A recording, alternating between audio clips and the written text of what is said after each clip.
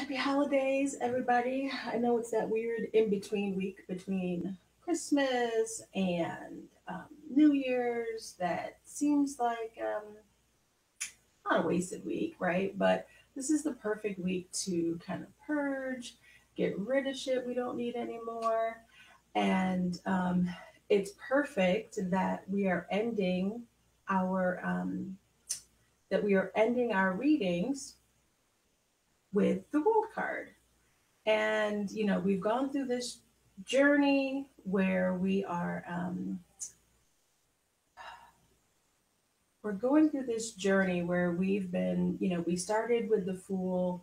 We are, um, you know, we've been learning and growing and getting all of these life lessons. And we went from, you know, our kind of youthful excitement of the fool energy, connecting within, moving through, you know, the first times even where um, the first times that we're we're meeting people, we're in relationships with people, we're learning how we want to show up in the world, who we want to be. Um, we've had some, you know, lessons that about about loss, about these cycles in our lives that um, that we have to learn not just about loss, but moving on the other side, what the beauty is of what's on the other side when we accept and grow from, you know, no longer having certain things, um, but the growth that comes afterwards from that, the growth that comes from knowing that you made it through, right? You made it to the other side.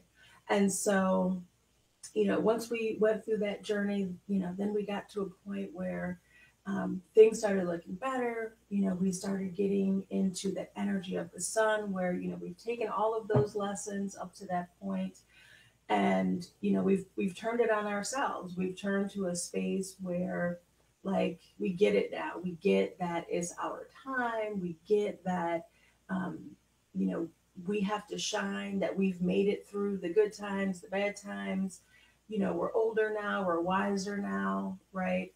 And, um, you know, like I said, the sun is like, yes, here we are, it's happening.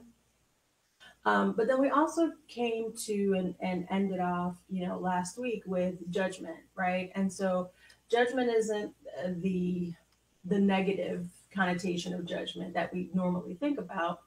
Um, I mean, it's that, right? We do have to kind of atone for things that we've done in our past, but it's also that opportunity um, to acknowledge what has happened and you know fully embrace that we've learned these lessons we've gone through all of these things and now we're letting it go right? So that we can be so much you know so much stronger so much uh, wiser and i'll just pull out there it is um, so that I can show you um, the judgment card.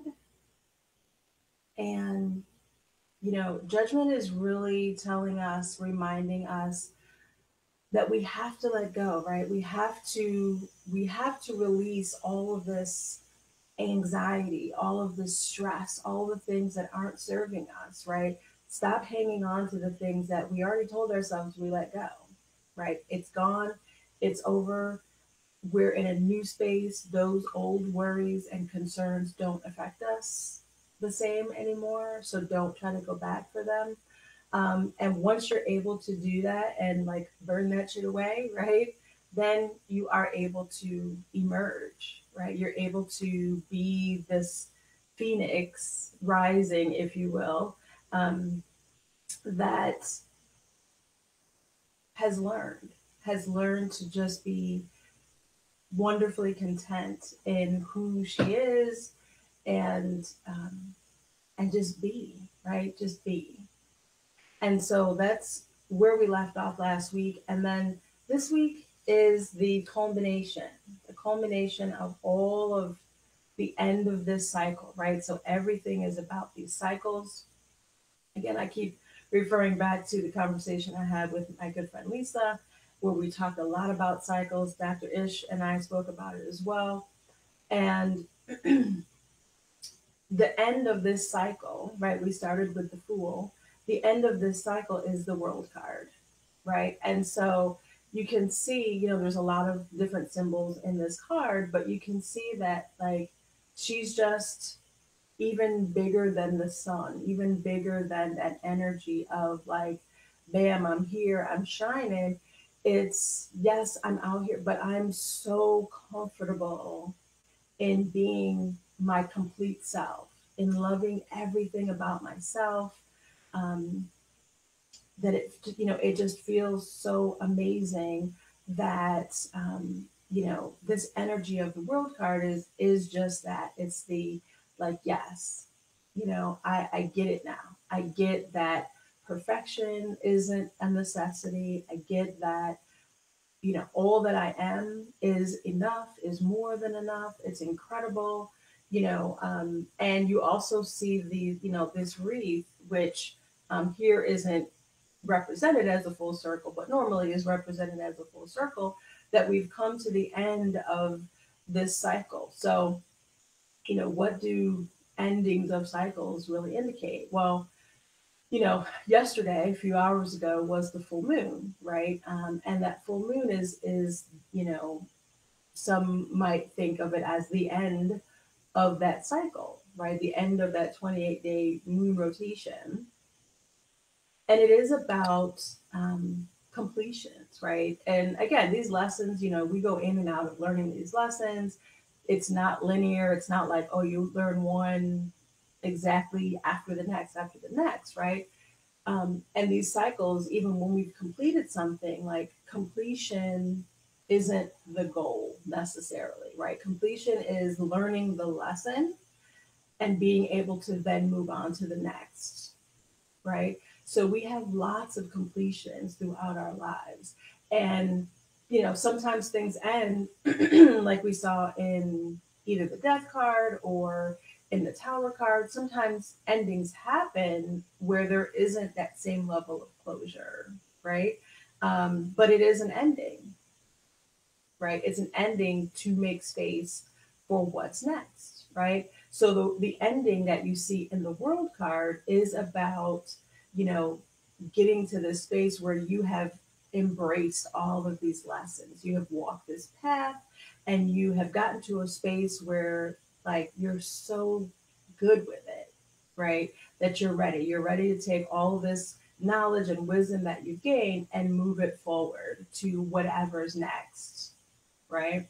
So, you know, I think that it's, um, and I didn't time this out though. I mean, it worked out perfectly that um, you know we're coming to an end, quote unquote, of a cycle. We're coming to the end of a year, right?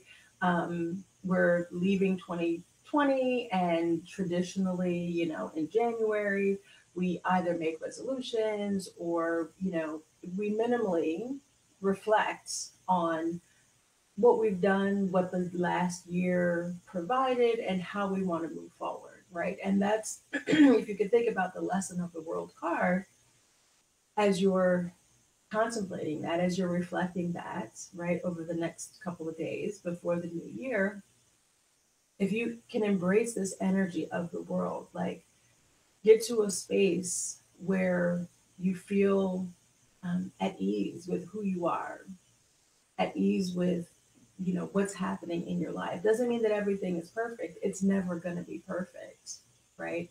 But it is about finding comfort in the fact that you have gained all of this knowledge and wisdom that you're able to now move forward into 2021 right?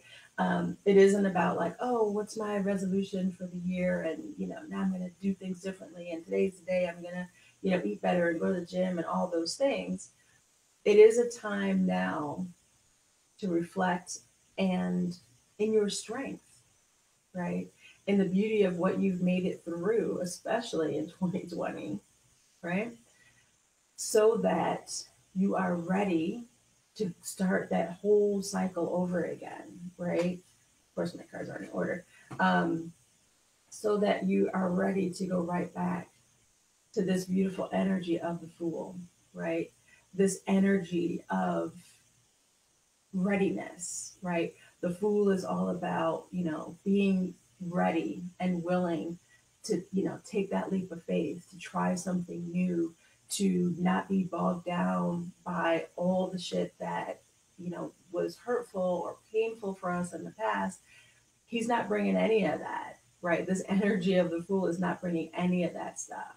It's just that new energy, right? It's it's the beginning of a whole new cycle, right? So, you know, that's you know, this is the the beginning and the end, if you will.